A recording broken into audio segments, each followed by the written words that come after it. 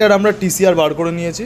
আচ্ছা। তো আপাতত এই গাড়িটার ওপরই আমরা এখন নামা প্লেট আমাদের কালকে থেকে স্টার্ট হয়ে গেছে। কালকে একটা কাস্টমারের নামা প্লেট দেওয়া হয়েছে অলরেডি আচ্ছা আচ্ছা। তোমাদের আমি দেখিয়ে দিচ্ছি এখানে স্ক্রিনশট কালকে যে নাম্বার প্লেটটা হয়েছে সেটা তোমরা এখানে দেখতে পাচ্ছ। কারণ এখন নমস্কার বন্ধুরা তোমরা কেমন আছো? আশা করি সত্যিই খুবই ভালো আছো। তো চলো আজকে নতুন একটা টপিকস নিয়ে তোমাদের সাথে চলে এসেছি। তো এখানে আমার বিশেষ দাদা আছে। তো দাদার নামটা অবশ্যই একটু বলবে। হুম। অরূপ অরূপ দাস। তো দাদার শর্মীর নামটা অবশ্যই একটু যদি বলো। EV world.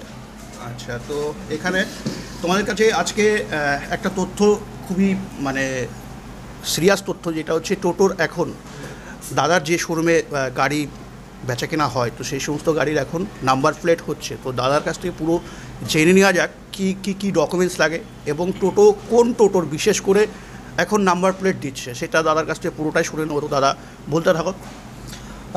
এখন বলতে গেলে আমাদের যে মডেলটা আমরা এই মুহূর্তে রাখছি পিকেডি থাউজেন্ড এটা আমাদের নিজস্ব ম্যানুফ্যাকচারিং তুমি জানো ভালো করে মিনালদা তো এই গাড়িটার আমরা টিসিআর বার করে নিয়েছি। আচ্ছা। তো আপাতত এই গাড়িটার ওপরই আমরা এখন নামা প্লেট আমাদের কালকে থেকে স্টার্ট হয়ে গেছে। কালকে একটা কাস্টমারের নামা প্লেট দেওয়া হয়েছে অলরেডি আচ্ছা আচ্ছা। তোমাদের আমি দেখিয়ে দিচ্ছি এখানে স্ক্রিনশট কালকে যে নাম্বার প্লেটটা হয়েছে সেটা তোমরা এখানে দেখতে পাচ্ছ। কারণ এখন সরকার থেকে আস্তে আস্তে রুলস করে দিচ্ছে নন রেজিস্টার বা রেজিস্টার গাড়ি আর কি রাস্তায় চলতে দিচ্ছে না। অনেক আচ্ছা, প্রবলেম আস্তে আস্তে সব জায়গায় শুরু হয়েছে। আচ্ছা, আচ্ছা। হাওড়ার ওদিকেও শুনলাম যে কিছু কিছু জায়গাতে প্রবলেম করছে।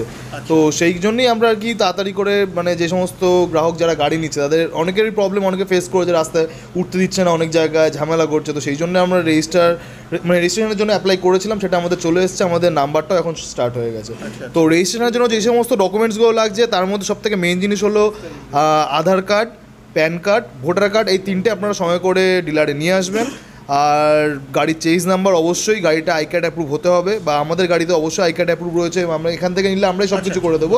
সেখান থেকে কাস্টমার শুধু ডকুমেন্টস আনতে হবে আর রেজিস্ট্রেশন ফিস যেটা আছে। তোমার এখানে লোকালে আসতে গেলে কি কি প্রসিডিউরগুলো আছে? বাসে আসতে গেলে কি হ্যাঁ?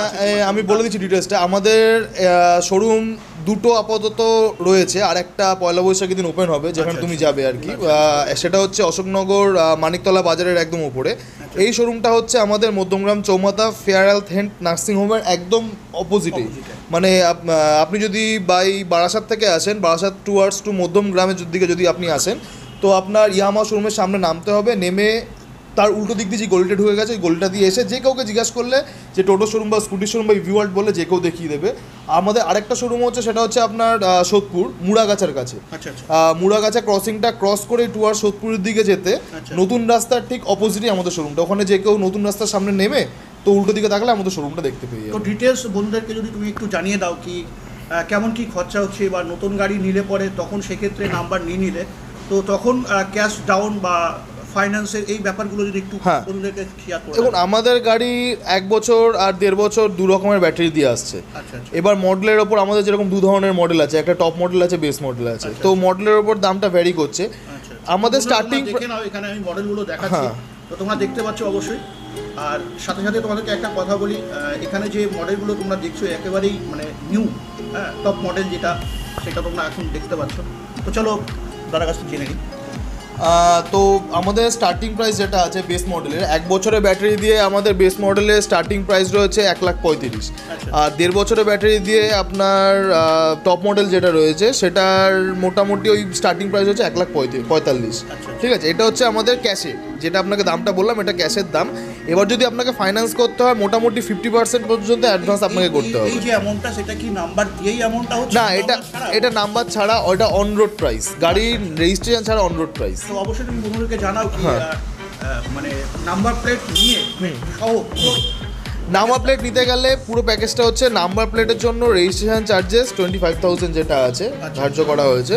Twenty five thousand registration charges সেটা গাড়ি আফটার পারচেস মানে এক লাখ পঁয়ত্রিশ দিয়ে যদি কেউ গাড়ি নেয় তো তাকে রেজিস্ট্রেশনের জন্য পঁচিশ হাজার টাকা এক্সট্রা দিতে হবে। 25,000 লাগছে। তো আশা করি বন্ধুরা তোমরা সবটাই বুঝতে পারছ। তো যদি তোমরা বুঝতে পারো অবশ্যই কমেন্ট করো।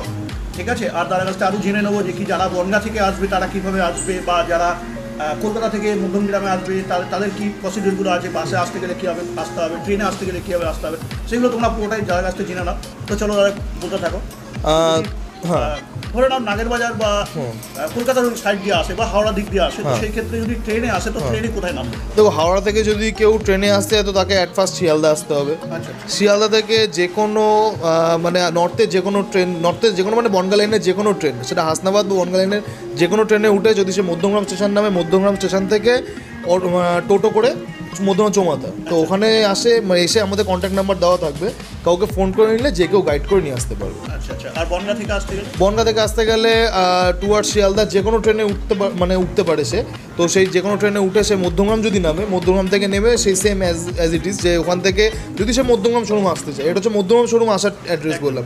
এবার যদি কেউ সোদপুর শোরুমে যেতে চায় তো সে বন মধ্যমগ্রামেই নামতে হবে। নেমে সোদপুর মানে সোদপুরের যে কোনো অটো যে কোনো অটোতে উঠে সে বলবে যে নতুন রাস্তা নামবো। তো আচ্ছা। একদম নতুন রাস্তা স্টপেজে নামালে উল্টো দিকে আমাদের শোরুম আচ্ছা আচ্ছা। তো এখানে সবটাই বুঝতে পারলে তো গাড়ি নেওয়ার পর মানে যারা ভাবছ যে একদম নতুন গাড়ি কিনবে বা ফাইন্যান্স হোক আর যেভাবে হোক তো সঙ্গে সঙ্গে তুমি যদি নাম্বার প্লেট করতে চাও তো তার সেক্ষেত্রে কিন্তু পঁচিশ হাজার টাকা তোমাদের বেশি বিয়ার করতে হবে। এটা সবসময় কিন্তু মাথায় রাখবে কি এক লাখ তিরিশ হাজার কি এক লাখ ষাট হাজার কি এক লাখ কুড়ি হাজার যে টাকাটা পড়ছে সেটা কেবলমাত্র নাম্বার প্লেট ছাড়া এরই নাম্বার প্লেট তোমাকে যদি করতে হয় এক্সট্রা করে আবার তোমাকে পঁচিশ হাজার টাকা তোমাকে দিতে হবে। হ্যাঁ এবার পঁচিশ। হাজার টাকাটা এটা আপাতত আরটিও থেকে জানিয়েছে। এবার যদি আচ্ছা, কিছু আচ্ছা। কম বেশি হয় সেটা আরটিও থেকেই আমাদের জানিয়ে দেবে। আচ্ছা। ঠিক আছে? মানে এখন অবধি ফিক্সড প্রাইস কিছু হয়নি। ঠিক। আছে?